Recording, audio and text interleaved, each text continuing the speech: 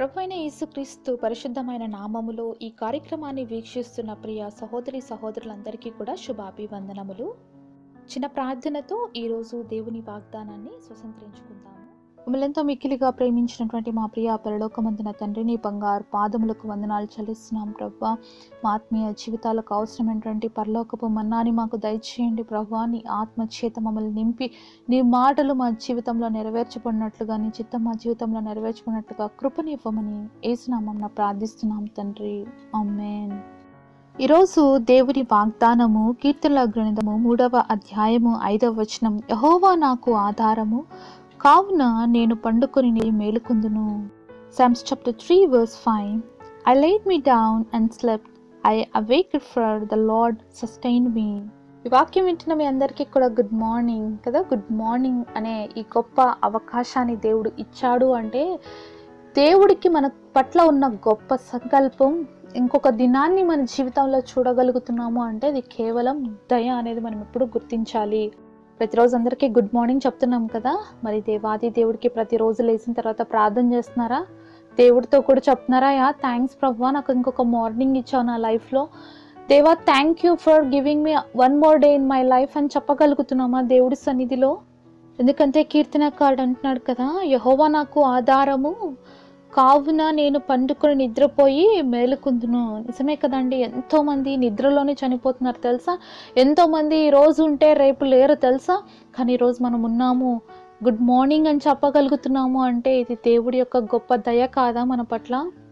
అందుకని ఆ భక్తుడు అంటున్నాడు నేను పండుకొని నిద్రపోయి మేలుకుందును. కానీ చాలామంది పండుకొని నిద్రపోతున్నారు. అలాగే శాశ్వతమైన నిద్రలోకి వెళ్ళిపోతున్నారు. కానీ దేవుడి దయ వల్ల మనం ఒక మరీ మేలుకోగలుగుతున్నాము. అంటే ఇది దేవుని కృప అండి. దేవుడు మనకి ఇచ్చినటువంటి ఆయుష్కాలం ఎంతో గొప్పది. అందుకనే ప్రతిరోజు మనం లేచిన తర్వాత దేవాది దేవుడికి చెప్పాల్సింది ఏంటంటే ప్రభా నా జీవితంలో మరొక దినాన్ని ఇచ్చావు తండ్రి అందును బట్టి నీకు వందనాలు అని చెప్పేవారుగా మనం ప్రతిరోజు ఉండాలి. ఎందుకంటే దేవుడి దయ ఉంది కాబట్టి మరొక దినాన్ని మన జీవితంలో చూడగలుగుతున్నాం. దేవుని యొక్క గొప్ప సంకల్పం మన పట్ల ఉంది కాబట్టి మనం యొక్క దినాన్ని చూడగలుగుతున్నాం. ఏం చేస్తున్నాం ఈ దినాన్ని దేవుడు మనకి ఇస్తే దేవుడి కోసం మనం జీవిస్తున్నామా? మరి ఏం చేస్తున్నాం? మరొక దినాన్ని మన జీవితంలో ప్రతిరోజు దేవుడు యాడ్ చేసుకుంటూ పోతే మనం ఏం చేస్తున్నాం దేవుడి కోసము అని ఎప్పుడైనా ఆలోచించామా? ఎప్పుడైనా ప్రశ్నించుకున్నామా? అందుకే అపోస్టన పౌలు అంటాడు కదా బ్రతుకుట క్రీస్తే చావైనా నాకు మేలే లాభమే.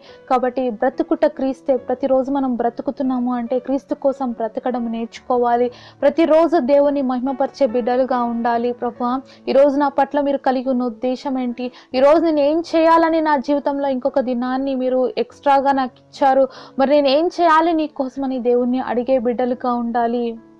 ఎందుకంటే మన జీవితంలో దేవుడు మనకు ఆయుష్కాలం పొడిగిస్తున్నప్పుడు మనం దేవుడి సన్నిధిలో ఇంకా అధికముగా దేవుడి కోసం జీవించాలని ఇంకా దేవుడి కోసం బ్రతకాలని దేవుడు ఆశిస్తాడు.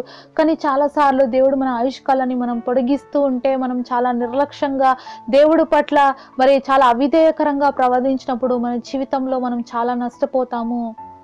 బైబిల్ గ్రంథంలో హిస్కియా అనే రాజును మనం చూస్తాం. చాలా దేవుని ఎంతో భయభక్తులు కలిగిన వ్యక్తి.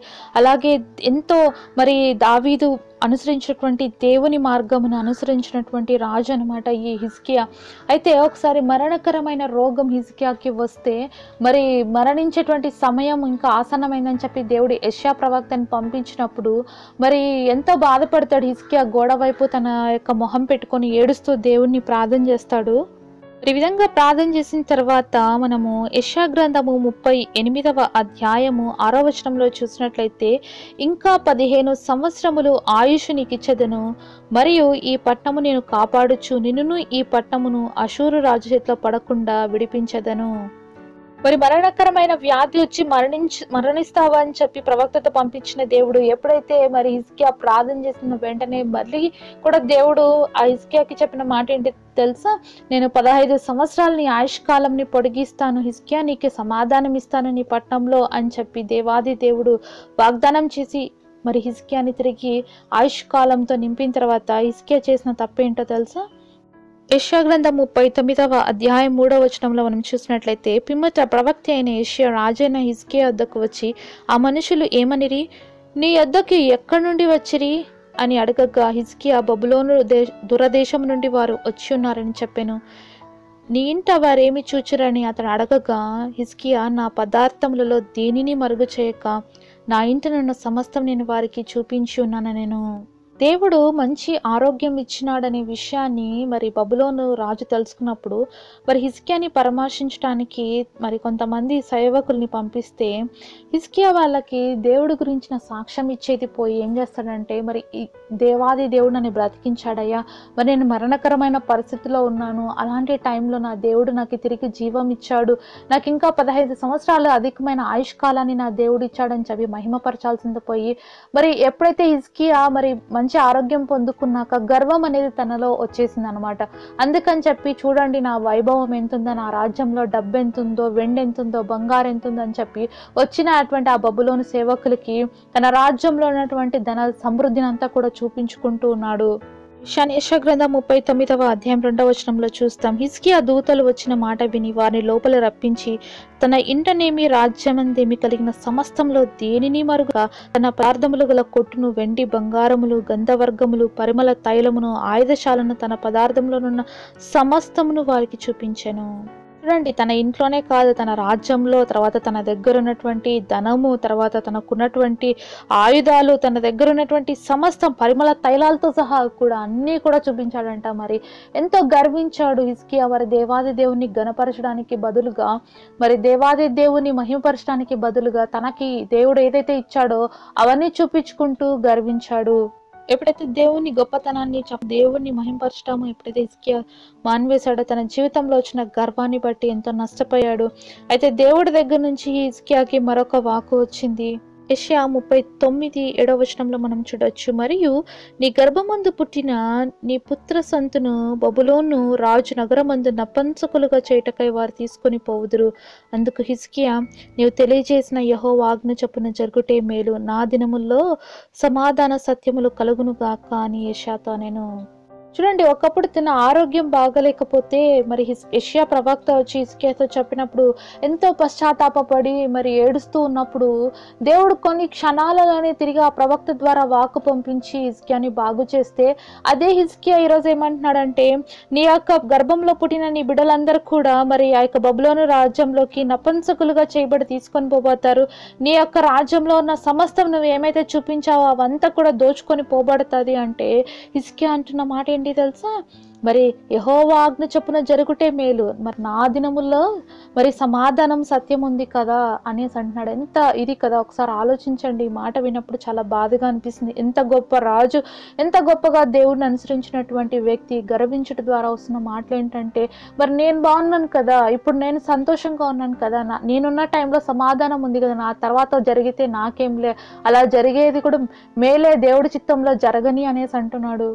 ఎంతో బాధాకరమైన విషయం. ఎందుకంటే ఒక రాజ్యంలో ఉన్నటువంటి ఒక గొప్ప స్థానంలో ఉన్నటువంటి వ్యక్తి తన తర్వాత తన కుటుంబము తన బిడ్డలు ఎంతో మంచిగా ఉండాలి చెరలోకి పోకూడదు అని వాళ్ళ కోసం అన్నీ కూడా ముందుగానే సమకూర్చి సంపాదించి పెడతారు. అలాంటిది హిస్కియా నీ మరి నీ నీ ప్రజలు నీ వాళ్ళంతా కూడా బబులోని దేశంలోకి సమస్తము కూడా కొనిపోబడతారంటే కూడా పశ్చాత్తాపడి దేవుణ్ణి అడగాల్సింది పోయి జరగనీలే ప్రభు అనేసి అంటున్నాడు కదా. ఎంత బాధాకరమైన విషయము. ఒకవేళ హిస్కియా మరణించవలసిన సమయంలో మరణించి ఉంటే తన రాజ్యానికి తన నెక్స్ట్ వచ్చేటువంటి జనరేషన్కి ఇలాంటి పరిస్థితి వచ్చేది కాదేమో మరి అనిపిస్తుంది. ఎందుకంటే హిస్కియా చేసిన తప్పు వల్ల మరి తన యొక్క మొత్తం రాజ్యానికి తన బిడ్డలందరికి కూడా బబులోన్లోకి చెరగా కొనిపోబడే పరిస్థితి వచ్చింది. కాబట్టి మనం ఈరోజు పండుకొని నిద్రపోయి మేలుకుంటున్నాము. ఇంకొక డేని దేవుడు మనకి ఇస్తున్నాడంటే మనము మన కుటుంబానికి మన బిడ్డలకి మన చుట్టూ ఉన్న వారికి మనం ఆశీర్వాదకరంగా మారాలి. కానీ ఇక్కడ హిస్కియా చేసినటువంటి పొరపాట్లు మన జీవితంలో చాలాసార్లు దేవుడు ఇచ్చిన వాటిని తీసుకొని గర్వించి మన జీవితంలో నష్టపోయేవారుగా మనం ఉండకూడదు. తద్వారా మన వారికి మన కుటుంబం వారికి మన చుట్టూ ఉన్న వారికి మనం నష్టం తెచ్చేవారుగా. ఎప్పుడు ఉండకూడదు అనే విషయాన్ని దేవుడు ఈరోజు మనకి హెచ్చరిస్తున్నాడు. కాబట్టి ఈరోజు రోజు దేవుడు హెచ్చరిస్తున్న మాట ఏంటంటే హిస్కియా తన జీవితంలో ఎంతో చక్కగా ఎంతో దేవునితో భయభక్తులు కలిగినాడు ఆయుష్కాలం పెరిగినప్పుడు తన జీవితంలో గర్వించి నష్టపోయాడు కాబట్టి దేవుడు మనకు ప్రతి దినాన్ని ఇస్తున్నాడు కాబట్టి ఆ దినాన్ని బట్టి మనం దేవుని మహిమపరిచి దేవుని ఇష్టానుసారంగా జీవించాలి. కానీ గర్వించి నష్టపోకూడదు అని దేవుని యొక్క గొప్ప మాట ఈరోజు మనకు సెలవిస్తుంది కాబట్టి మరి ఈ వాగ్దానం దేవుడు మనకి చేసినందుకు మనం దేవుని స్థుతిస్తూ దేవుని మహిమపరుస్తూ ఆయన కోసం జీవిద్దామా? అలాగైతే నాతో పాటు కలిసి ప్రార్థనలోకి ఎక్కిపిస్తారా? పరిశుద్ధుడు అయిన తండ్రి నీ బంగారు పాదములకు వందనాలనైనా మరి హిజ్కియాకి ఆయుష్కాలం పొడిగించినప్పుడు గర్వించి మరి తన మొత్తానికి తన దేశానికి తన బిడ్డలందరికీ కూడా నష్టాన్ని తెచ్చినట్లుగా మా జీవితంలో మీరు ఒక్కొక్క దినాన్ని ఆయుష్కాలాన్ని పొడిగిస్తున్నప్పుడు మేము నశించిపోయే వారుగా గర్వించిపోయే వారుగా ఉండకుండా నీ నామానికి ఆశీర్వాదకరంగా మమ్మల్ని మార్చు తండ్రి. ఈరోజు మీరు ఇచ్చిన ఈ వాగ్దానాన్ని మా అందరి జీవితంలో నెరవేర్చి ప్రతిరోజు నిన్ను స్థుతించే భాగ్యము నీకు లోబడే కృపను మా అందరికి ఇవ్వమని ఏసునామం ప్రార్థిస్తున్నాము తండ్రి. అమ్మేన్